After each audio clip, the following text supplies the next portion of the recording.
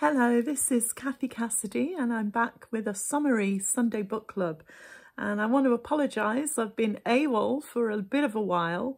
Um, what's my excuse for that? Well, it's it's been that kind of a year really. You're kind of, all of us I think have been in the same boat. We've been stepping back into the real world and picking up where we left off, doing real things with real people, which has been great. Um, I know that in in May, I think middle of May, I was I was across in Limoges at the book fair in in France and meeting lots of French readers and my French publishers again, and that felt amazing and just so lovely to be back in the real world. And then um, in June, a couple of weeks later, bam, got COVID. So yeah, it's one of those funny times, isn't it, where we're sort of acting as though everything's okay, but the COVID thing is still out there. So yeah, just tread carefully, whatever you're doing. And uh, yeah, stay well if you can.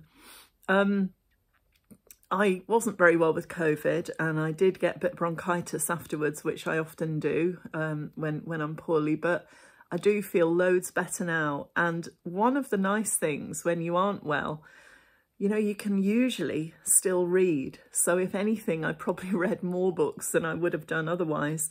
But I've read some fantastic books this year. And I think that this little summer instalment of Sunday book clubs might run over three weeks or so because I have quite a few bits and pieces that I wanted to tell you about. Well, the first one is this book, Malibu Rising um, by an author called Taylor Jenkins Reid, who is quickly becoming one of my favourite authors for, for an easy read story. Um, she is the author of a book called Daisy Jones and the Six, which I really enjoyed, and also a book called The Seven Husbands of Evelyn Hugo. But Malibu Rising possibly is my favourite so far. It's set in the 1980s, it's set in Malibu, it has a really glamorous and cool kind of um, backdrop to it. So you'll come across, you know, rock stars, um, actors, actresses, the surfer crew, the whole kind of, that whole fantastic, it's such a summery book. It's also a bit of a thriller with a real mystery at the heart of it, but um, all done very warmly with a lovely kind of human feel-good core to it. So thoroughly recommend Malibu Rising. Perfect summer book. Think um, it's going to appeal to lots of people across the board. So that is my number one pick for today. And the next one that I wanted to tell you about, this book, The Woman Who Took a Chance by my fabulous author friend Fiona Gibson, put a huge smile on my face when I read this. It's um, and that's that's kind of not unusual. If you are familiar with Fiona's Fiona's books, she writes with such a gentle humour, but you will find that you're you're smiling and laughing through through the story. No matter where you are, what you're doing, whatever it is, she will lift your spirits and put a, a lovely smile on your face. Um, and I think we all need that at the moment. So again, a nice summery read, but it's about a flight attendant um, who's reached her middle years, who has quite a complicated life um, and is, is then gifted two tickets for the trip of a lifetime. So who's she going to give the other ticket to? That's her, that's her problem. That's her quest. And it's a bit of a journey for her to work out who are the important people in her life. It's so warm, it's so feel good. And yeah, we all need the smiles as well. So thoroughly recommend The Woman Who Took a Chance by Fiona Gibson. Um, and if you're not familiar with Fiona's books, please check out the others because she's just brilliant. And we all we all need those smiles right now. Um, this book, the next this next book again, it's it's an adult sto or story for um, adults, not for children. It's called Duckling and it's by um, another author friend, Eve Ainsworth. Eve is a fantastic author for middle grade and especially um, young adults. And this is her first novel for, um, you know, for, for the grown-up age group, if you like. And I was fascinated to read it. I was really interested to know what she would do. I loved the cover. I love the title. And Duckling is actually the the nickname of the main character, Lucy, in this story.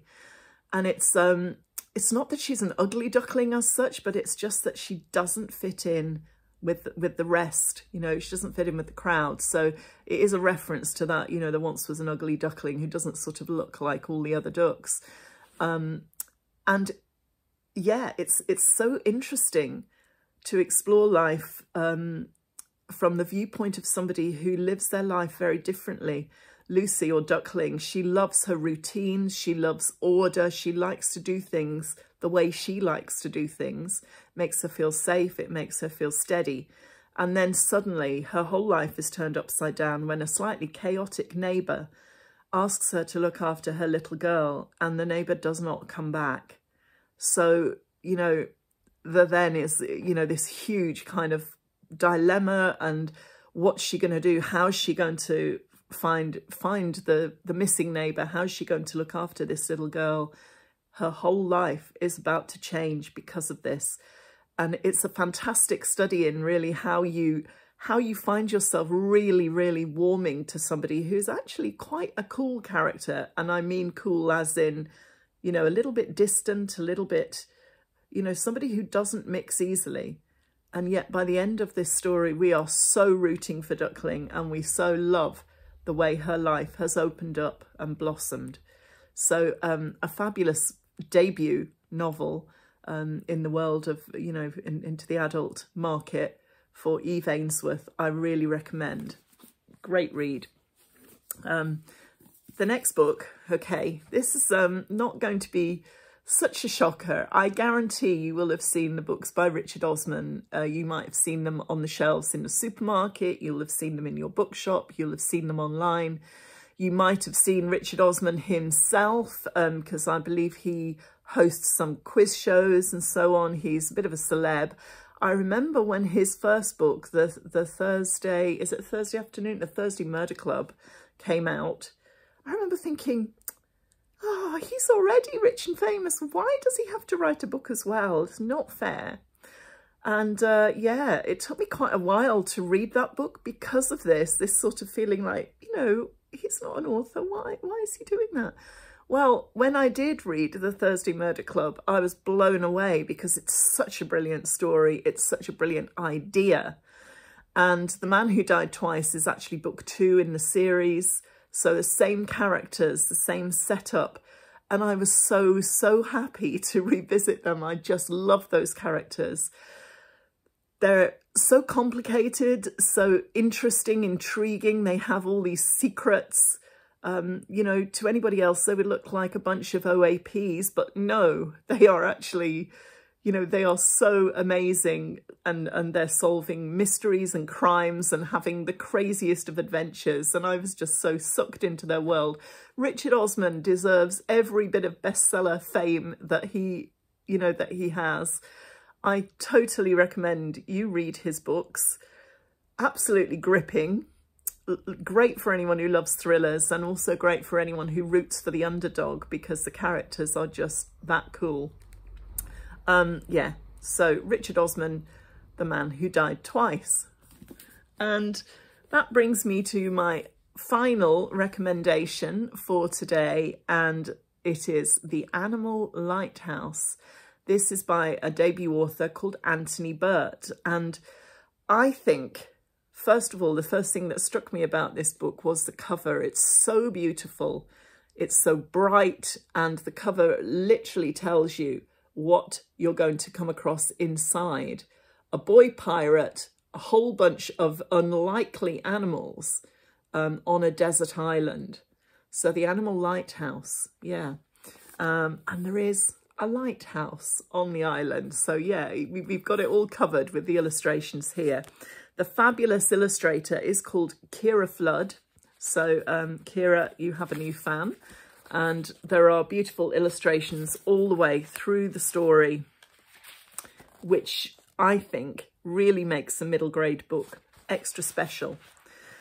But there was another thing that made this book extra special for me, and that was because the author, Anthony Burt, is an old friend, somebody that I've known for, um, oh, easy, maybe 10, 15 years. And Anthony, I know, has always wanted to be um, a published author and absolutely passionate about writing. and um, he wanted to write a children's book and he's he's um, he had shared in the past some of his early ideas and manuscripts with me and I'd given feedback and tried to encourage. Um, but it's about so much more than having a good idea. To actually have a good idea that is publishable and that, that publishers will will really want is is a whole different thing and definitely involves a bit of luck as well but Anthony has done it. And oh my goodness, has he done it with bells and whistles with this book. The Animal Lighthouse is so good, so shiny, so easy to love. It's ideal for anyone, I'd say kind of seven or eight and upwards. Um, boys will love it, full of adventure and drama. Girls will love it. Um, it's, it's just so gripping there is adventure, there are lovely animals, there's jeopardy, there's danger, there's mystery. Um, yeah, it's it's got everything. And I'm so, so chuffed for Anthony that he's, he's first of all got a book published, but second of all, that it's a brilliant one.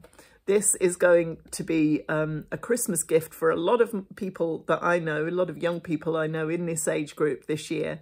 And I totally would, would um, suggest that anyone with, I don't know, the 8 to 12 year old range age range in your family or friends, those kids would love this book for a summer holiday read.